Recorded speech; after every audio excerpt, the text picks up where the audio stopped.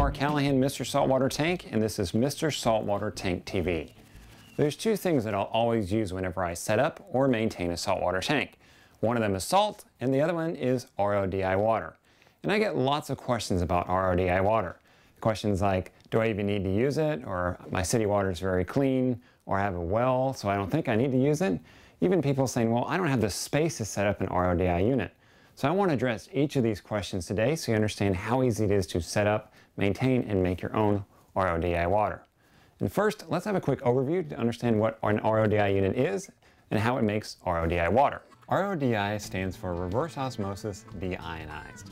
Reverse osmosis comes from the reverse osmosis membrane that sits inside here, and the deionization comes from water that has passed through the deionization bed, shown here.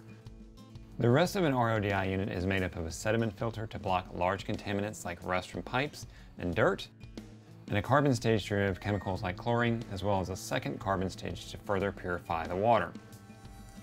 After water has passed through all these stages, the result is very clean water that comes in at zero TDS. TDS stands for Total Dissolved Solids. In other words, junk in your water that you don't want in your saltwater tank. Some RODI units have a chloramine stage to remove, well, you guessed it, chloramines.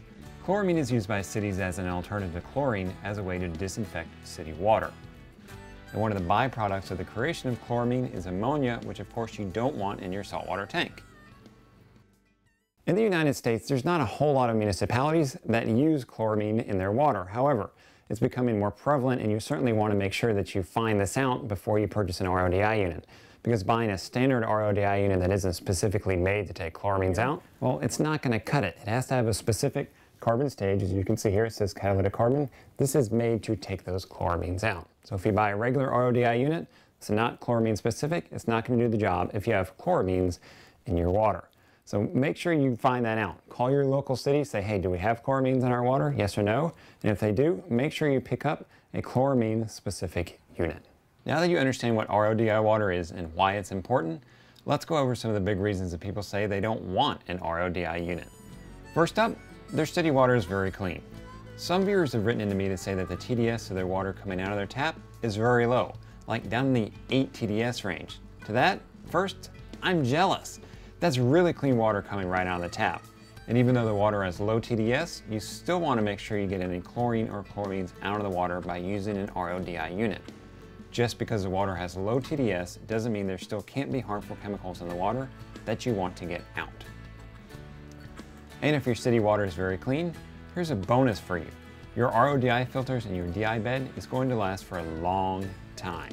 Less TDS coming in means that the RO RODI filters don't have to work very hard to clean up your water. Less filters means less expense. Of course, I recommend that you always have a spare set of RODI filters on hand as you never know when you might need them.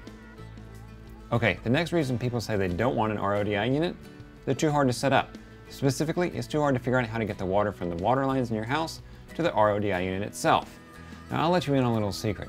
Bulk Reef Supply, the people who made the RODI unit that I use, when you buy an RODI unit from them, they give you a grab bag of water hookup connections.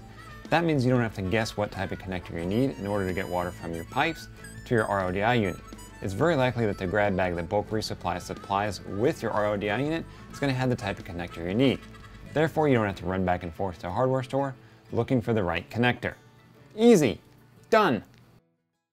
When it comes to reasons that people don't want an RODI unit, one of the big ones is lack of space. They say, well, I don't have a garage or I live in an apartment where things are cramped. Here's a solution for you if you fall into that category. You can mount it right underneath your sink There's usually lots of dead space underneath here, and you're right by a water source. That means you don't have to be running lines throughout your garage or throughout your house to get water to your RODI unit. Now, how do you store your RODI water with a cramped space like this? Well, I'm not going to lie, it's not as convenient as having a nice 55 gallon drum like I do where I can store a lot of RODI water. But you can do things like put a 5 gallon jug underneath here, start filling it up, set a timer, and after a certain amount of time, just turn off that jug and you make all the water that you need. Now, certainly remember the timer. You don't want to leave that running endlessly where it can flood your house, but then you'll at least have five gallons of RODI water on hand, and you can make multiple jugs if you want. It's not as convenient as having a 55 gallon drum or a large storage container in your garage, but I'm here giving you options. Sometimes you got to roll with what you got. Another common question I get asked, and the reasons that people say they don't want to get an RODI unit, is they say that they're on a well. So therefore there's no chlorines or chloramines in that water that they're using to put in their reef tank. Well, that might be true. But here's why I still recommend if you're on well water, why you still want an RODI unit. Number one, well water can have really high TDS. For example, I have some friends here in Central Texas. They're on well water and their TDS of the water coming out of their tap is 400. Very, very high TDS. Remember, more TDS means that there's more potential junk in that water that contaminate your tank, and higher TDS can also lead to nuisance algae outbreaks, which are a pain in the butt to deal with. The other thing to keep in mind with well water too is you won't know if something does get into that water. For example, what happens if your well gets contaminated?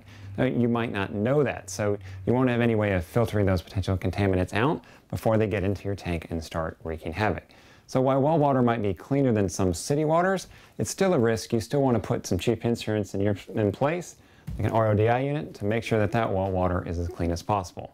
And look, if your well water is very clean, then that's good. That means that your RODI unit, the filters are going to last really, really long because they're not going to have to work that hard.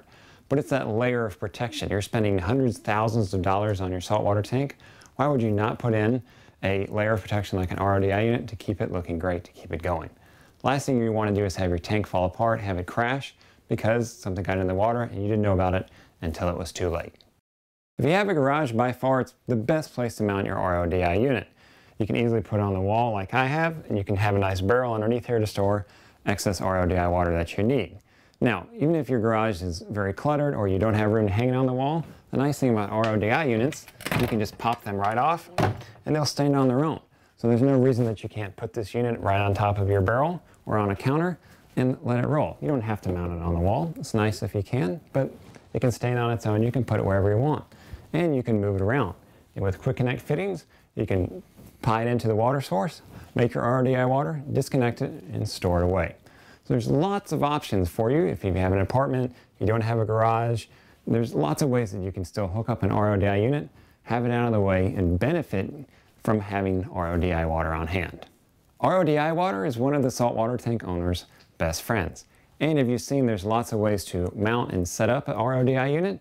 And when you pick up an RODI unit from Bulk Reef Supply, they give you the connectors, which is what I think is the hardest part of setting up an RODI unit. How do you get water out of your water source to the unit itself? Bulk Reef Supply, they give you that bag of goodies. All you gotta do is sort through there and say, well, this one isn't it, this one isn't it, oh, this one is it. No more trips to the hardware store and no more guesswork. So RODI water, I'll always use it in my saltwater tank. I recommend that you use it for your tank as well. I'm Mark Callahan, Mr. Saltwater Tank. This has been Mr. Saltwater Tank TV. Until next time, have a good one, enjoy your tanks, and know your tank personality.